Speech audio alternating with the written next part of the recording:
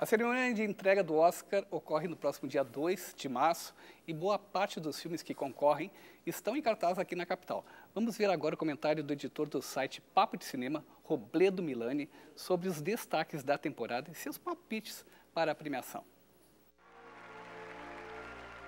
O Oscar leva muito mais uh, outros fatores em consideração do que apenas se o filme é bom ou não, né? Tem toda a questão de mercado, tem a questão de indústria, a questão de se é o momento ou não de determinado ator ou diretor acabar ganhando. E também que a Academia de Artes e Ciências Cinematográficas de Hollywood, que quem vota no Oscar, são cerca de 5 mil pessoas, mais de 5 mil pessoas, e tem inclusive brasileiros, tem americanos, tem chineses, tem, tem australianos, muitos americanos. Ou seja, é um corpo votante tão diversificado e tão amplo que às vezes é muito difícil tu decidir quem vai ser quem ganhar. Às vezes as surpresas podem acontecer sim.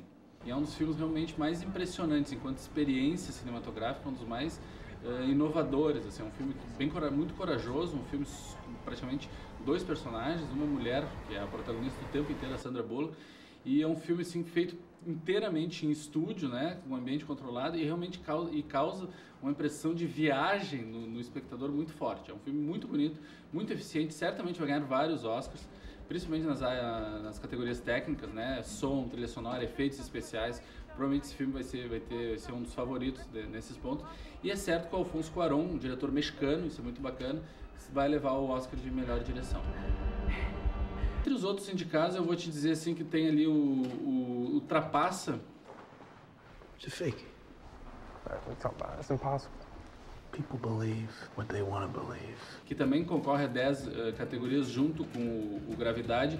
Não é um dos meus favoritos, é um filme assim que ele me deixou a desejar em vários pontos e muita gente aponta e a gente reconhece também uma vontade do diretor, o David Russell, em querer imitar um cineasta já consagrado que é o Martin Scorsese. Muitos do, muito do Ultrapassa nos remete a filmes como Os Bons Companheiros, de 1990, do Scorsese. O gênero, o gênero que ele a, ambienta a sua história é muito similar àquela.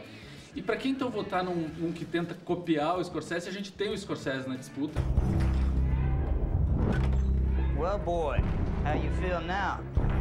12 anos de escravidão é um filme que também eu não sou muito fã, concorre em nove categorias.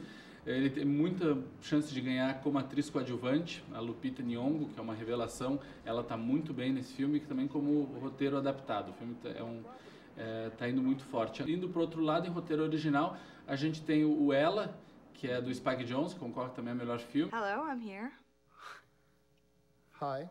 Hi. Samantha. É a história de um cara que se apaixona pelo sistema operacional do celular dele, então é uma história, uma, uma, tipo uma ficção científica romântica. Acho que é um filme que tem boas chances aí como roteiro categoria de filme estrangeiro, o grande favorito não foi indicado. Essa foi a grande, a grande surpresa desse ano e nem foi um problema do Oscar, porque para tu concorrer na categoria de filme estrangeiro, tu tem que ser escolhido antes por um colegiado do teu próprio país e ser representar. E o favorito que todo mundo estava comentando era o filme que ganhou a Palma de Ouro em Cannes no ano passado, que é o Azul, a cor mais quente da França, que não foi escolhido pela França. O representante da França é um filme chamado Renoir, mas é um filme que não acabou sendo selecionado, indicado para o Oscar. E é um filme bem aquém, realmente, do Azul a Cor Mais Quente. O Azul a Cor Mais Quente não foi também um problema da França, foi um problema dos distribuidores que estrearam o filme na França depois do período hábil para que a França pudesse escolher. Então é um filme que ainda em 2015, de repente, pode estar sendo indicado. Dos selecionados, o meu favorito é o italiano, A Grande Beleza, que é um filme realmente muito emocionante. É um filme que é uma homenagem a Fellini, Fellini que é um dos recordistas do Oscar de filme estrangeiro, ele ganhou seis estatuetas, se eu não me engano. Então é um filme muito emocionante, muito memorialista, muito sentimental. Mas por fora concorre também o A Caça, um filme dinamarquês, que é um filme muito forte, é um filme muito perturbador, um filme que mexe bastante com as pessoas. É um filme dirigido pelo Thomas Winterberg, que é um dos fundadores, ao lado do Lars von Trier, do Dogma 95, um movimento que teve alguns anos atrás. E ele traz um filme que mexe bastante com as opiniões. As categorias de atuação realmente são as mais uh, esperadas do Oscar, porque são os grandes astros de Hollywood que estão concorrendo, as pessoas, os ídolos mais populares, aqueles que as pessoas reconhecem né, e vão ver o filme por causa deles. E esse ano vão ter, é bem provável que ganhe o prêmio de melhor ator e ator coadjuvante dois atores do filme Clube de Compras Dallas, e que é o Matthew McConaughey e o Jared Leto. São dois atores que nunca haviam sido indicados antes, eles estão na primeira indicação deles e que já vêm fazendo trabalhos muito positivos, muito elogiados há um bom tempo. Então ainda tão, tem um sentimento até de recompensa. Os dois interpretam um filme baseado numa história real e os dois interpretam personagens que estão morrendo de AIDS no início dos anos 80. Então eles emagreceram muito, eles se transformaram fisicamente e o, o resultado do trabalho que eles mostram é realmente é bem impressionante.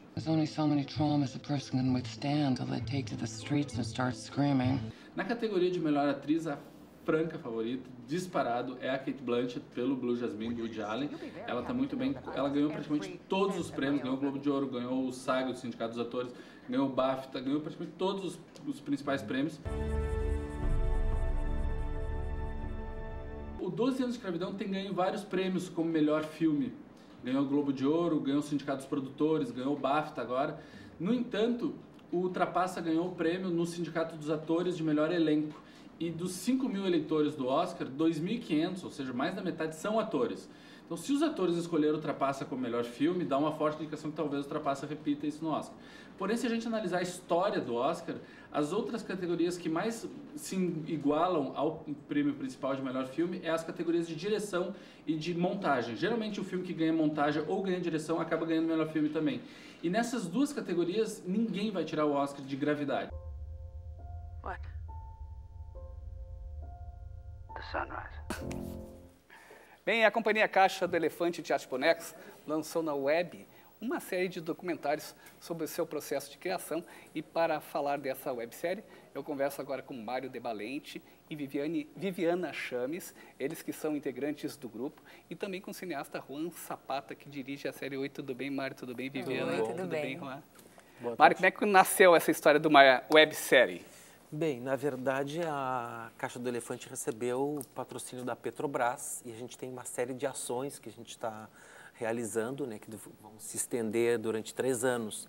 E uma delas é registrar em 36 episódios né, o nosso processo de criação dos espetáculos, de treinamento, de ensaio, também o trabalho feito no, no sítio, né, onde tem a, a, o trabalho de imersão. Né, e isso está sendo registrado e aí os Zapata Filmes, o Juan entrou nesse processo. Dois episódios já foram ao ar, né? Amanhã Estreia mais um? Amanhã estreia o mais um, que virou quase um semi-documentário. O, o episódio mais comprido que vamos a ter, que são sete minutos.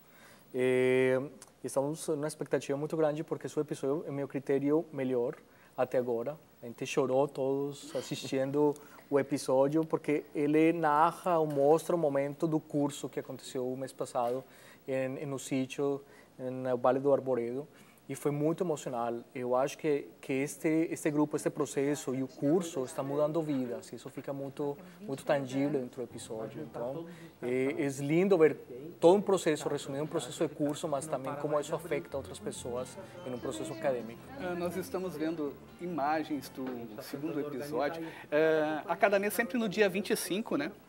Vai estrear um dos episódios. Uh, e como é que está sendo, então, todo esse projeto né, para construir esses roteiros? O que vai ser feito a cada tema? Olha, a gente já tem um planejamento para vários meses de quais são as ações pontuais que a gente vai registrar e vai acompanhar. Lembrando que a gente está fazendo, além da websérie, um filme, um longa, ao respeito do processo criativo da, da companhia da Caixa, da Caixa do Elefante. Então, a gente está eh, sendo instigado por esses momentos pontuais de realmente acompanhar, de realmente ver, conhecer os bastidores e, meu critério, muito também de, de descobrir esse processo criativo deles, porque o processo de trabalho deles é muito particular, é muito específico, está muito ligado à qualidade humana deles, à qualidade profissional, e isso faz diferença nos outros grupos que eu vejo no Brasil. E, e, e no meu critério, com o olhar que devo ter desde o ponto de vista cinematográfico e, audiovisual, para mim está o potencial nessa parte. E aí é que a gente tem que articular quais são as ações, qual é o momento adequado para a gente estar registrando. Mário, o grupo viaja por todo o mundo, né, levando o trabalho da Caixa do Elefante em temporadas pelo Brasil e por outras, outros países eh, do mundo, eh, em festivais de teatro, e, e, vocês perceberam essa necessidade de, de dividir, né, acredito, eh, o processo de criação. Eu acho que assim, desde o início, o nosso trabalho sempre foi registrado. É, o teatro de bonecos, na, na, no status do teatro, ele está assim, é, a, naquele status assim, abaixo do abaixo do abaixo, né? E quando a gente começou a trabalhar, era, eu, eu sempre procurei dar uma, um respeito para o nosso trabalho e como a gente se colocava nas temporadas.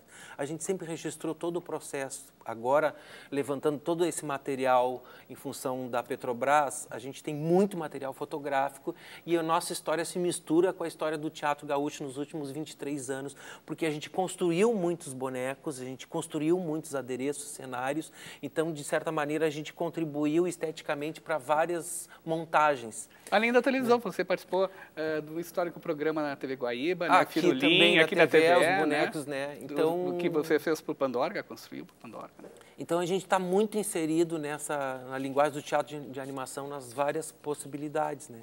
Então esse processo de poder registrar e colocar para o público agora em forma de documentário, ele foi proposto no projeto da Petrobras. Viviana, próximos projetos da companhia. Bom, um dos espetáculos que a gente vai estrear em março é o ensaio sobre o tempo, onde a gente trabalha bastante a questão do homem, a percepção do homem em relação ao tempo.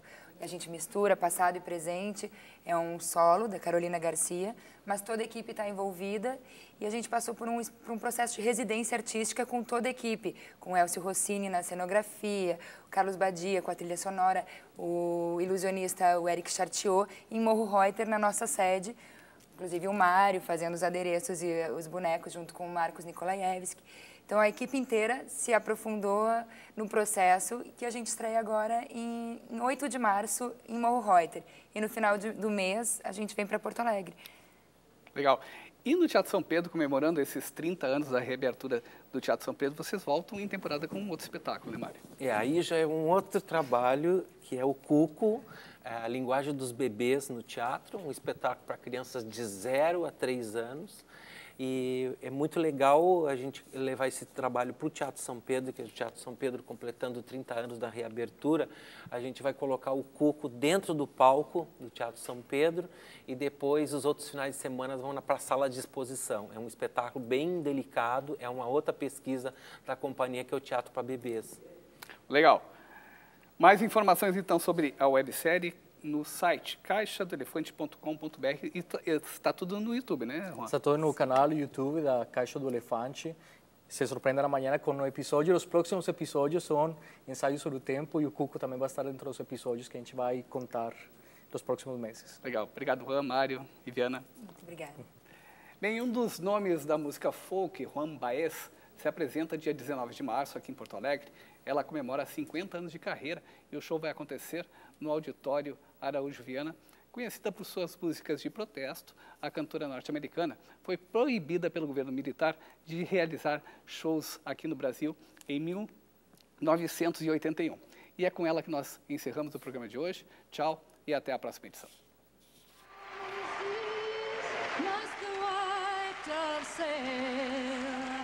Before she sleeps in the sand.